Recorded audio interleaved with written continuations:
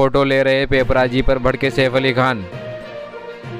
बोले, हमारे बेडरूम तक आ जाओ। आपको बता दें कि ये वीडियो सोशल मीडिया पे काफ़ी वायरल हो रहा है।